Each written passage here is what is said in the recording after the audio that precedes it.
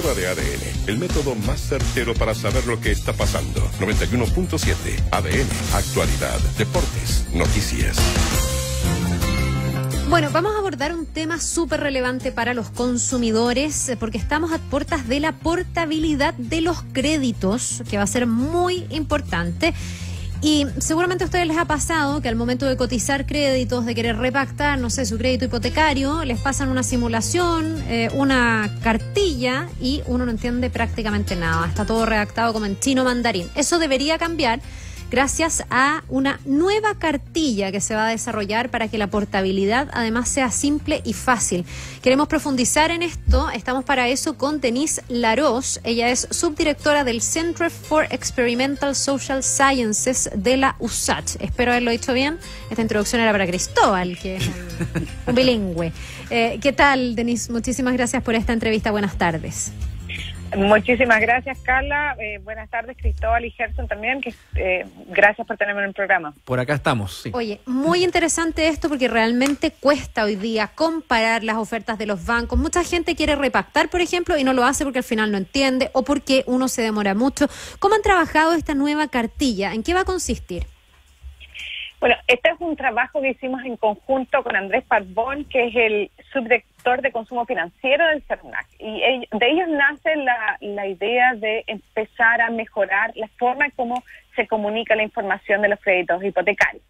Eh, y ellos se contactan con nosotros, eh, hacen un trabajo eh, fantástico de, un análisis cualitativo, hacen un focus group y, y, juntan a gente para ver, para entender que exactamente qué es lo que no se entiende de la cartilla actual y ver cuáles son los factores que, que podrían ir mejorando la comprensión. Y nosotros tomamos, trabajamos con ellos, hicimos un análisis experimental y logramos evaluar cuánto más lograba eh, convencer a la gente de ir por lo menos a cotizar, ¿no? Porque en el mercado de los créditos hipotecarios lo que nos ocurre es que normalmente cotizamos muy poco a la hora de eh, contratar el crédito original y después nos, nos quedamos, ¿no? nos dejamos estar y no renegociamos los créditos a pesar de que las tasas pueden haber bajado muchísimo y una renegociación podría llevar a eh, beneficios económicos sustanciales. Denise, ¿y hay una traba en cómo se entrega la información para que la gente efectivamente se motive? Porque obviamente si hay una buena oportunidad para refinanciar, si eso va a mejorar tu carga financiera, etcétera,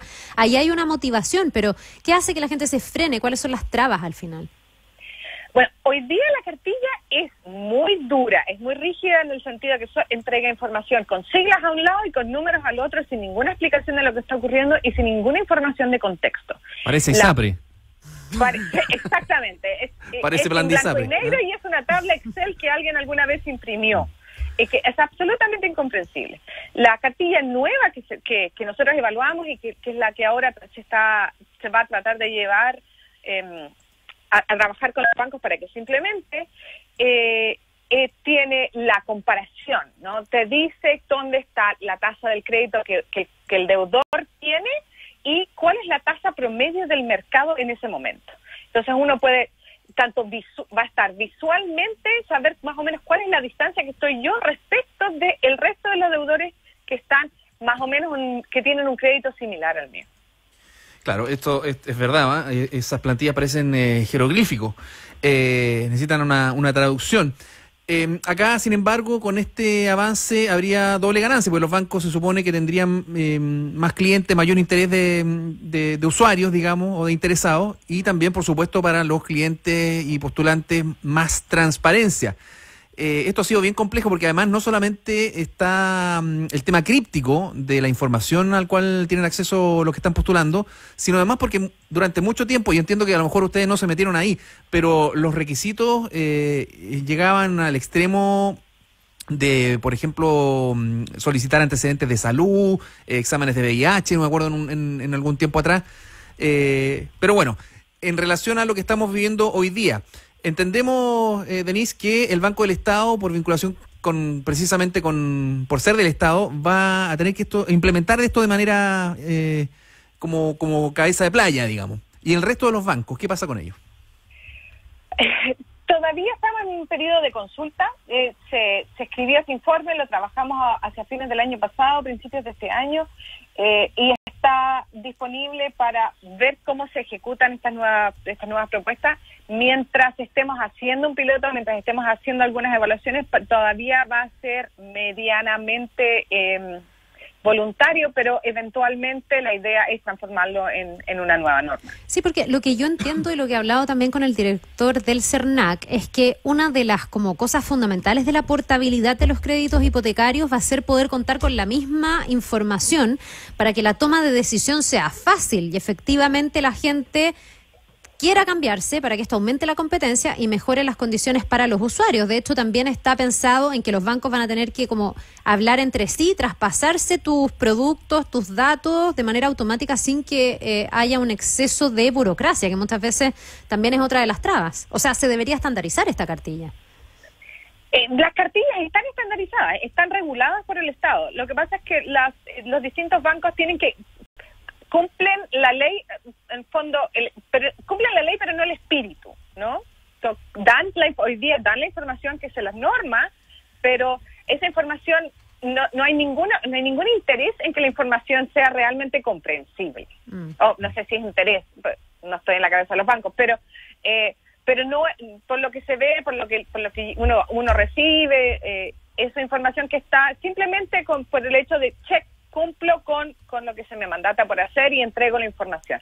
Pero hoy día estamos en una instancia que es completamente distinta en términos del empoderamiento de la sociedad civil, en términos de, las exigencias de, de, los ciudadanos y de la importancia de la transparencia. La portabilidad es, es un tremendo avance en ese sentido y si ya se, nos hemos sentado como, como Estado chileno a pensar un poco en términos de permitamos que la gente se pueda cambiar de un banco al otro banco. Entonces ahora tenemos que introducir, la idea es introducir competencia sin, sin regular, sin, sin restringir el mercado, sino que por la vía de empoderar más a la ciudadanía con información que sea transparente, que sea fidedigna, que sea fácil de comprender. Se busca hacer algo bien similar con lo que se hizo en la telefonía móvil, donde empezamos con un proceso de portabilidad que al principio le metió mucho mucha presión a las empresas para buscar mejores ofertas, fue bajando los precios, etcétera.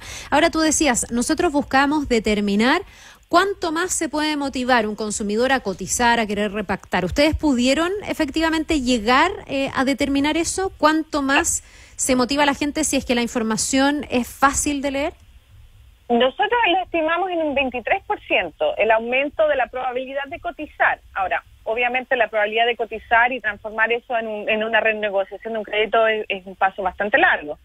Eh, pero sí, en ese sentido es sustantiva la diferencia que se podría dar algo así como 200.000 personas podrían eventualmente estar eh, incitados a buscar nuevas alternativas de su crédito, que significa introducir muchísima más competencia. ¿Y por qué, en el fondo, cómo se logra, qué, qué información tan simplificada, importante o vital puede tener esta nueva cartilla? ¿Te pueden decir, por ejemplo, cuánto bajaría tu crédito si tú logras, no sé, bajar un punto de la tasa? ¿O cómo, en el fondo, a ti te queda tan claro como usuario que tú me dices podrías tener un 23% más de gana, por último, de cotizar y cambiarte?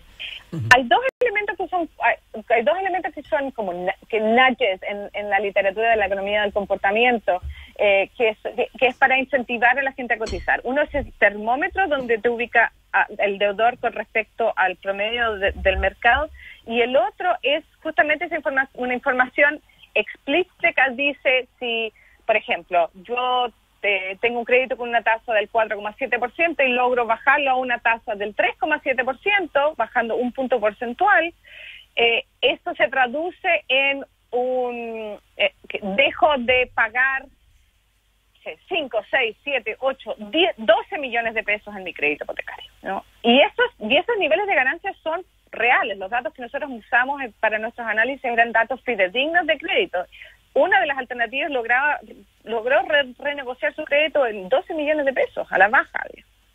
No es menor, pues, claro. No es menor. Ahora, eso depende obviamente del tamaño del crédito original, ¿no? Si que el crédito es más pequeño, por mucho que yo pueda reducir la tasa en un punto porcentual, eh, el, potencial de ahorro es, menor. Mm. Denise, eh, dos preguntas. Una, eh, ¿cuándo esperan ustedes o cuándo estima la autoridad que esto podría transformarse en norma? Es decir, estandarizar absolutamente esto. Y lo otro, eh, ¿Con qué cosas se toparon ustedes o qué es lo que más te llamó la atención cuando revisaron las plantillas viejas, las vigentes, que uno dice, que tú dijiste, oye, pero ¿cómo es posible que eh, estén eh, entregando la información de esta manera o ocultándola si uno la mira desde otra perspectiva? Yo creo que dentro de la cartilla una de las cosas que nosotros más nos llamó la atención es el tema de la morosidad, que es absolutamente un lenguaje absolutamente incomprensible, porque habla del porcentaje sobre el porcentaje sobre el porcentaje de los días de mora. Ya, o sea, si uno se atrasa, no sabes más bien cuándo te no tienes toda la información de cuánto te van a cobrar, en definitiva. Claro, pero es, prácticamente imposible de traducir. Mm. Hoy día las variantes nuevas dice exactamente en pesos eh, cuánto es lo que tendría que pagar si se atrasa un mes, por ejemplo, o si se atrasa una serie de cantidad de días. Ahora, ¿qué esperamos? todo va a depender un poco de cómo de cómo trabajemos con el Banco Estado. Lo vamos a hacer lo más rápido posible y esperamos de todas maneras salga de aquí a fin de año. Bien, pues vamos a ver cómo esto va a incidir. ¿Ustedes, tú te atreverías a hacer una proyección? Si es que esto se, se, se ejecuta, digamos, queda firme, tenemos esta portabilidad ya rigiendo, que entiendo que es en septiembre, y esta cartilla ya estandarizada y una información más simplificada. ¿Tú efectivamente crees que vamos a tener traspasos importantes entre bancos? Yo Creo que sí, creo que los bancos que no se adecúen rápidamente a, esta nueva realidad y, a estas nuevas demandas de, la ciudadanía o, del deudor hipotecario eh, efectivamente van a, van a tener pérdidas de, clientes, eh, pero sobre todo yo creo que una de las cosas que uno no considera tanto es la renegociación de, con, incluso dentro del mismo banco. Hoy día existen bancos donde si yo renegocio mi crédito hoy, no me cobran una retasesión, es muy poco el costo que tengo que implementar y la verdad es que uno no lo hace más bien por por no querer hacer trámites, ¿no? Porque la burocracia del proceso es altísima.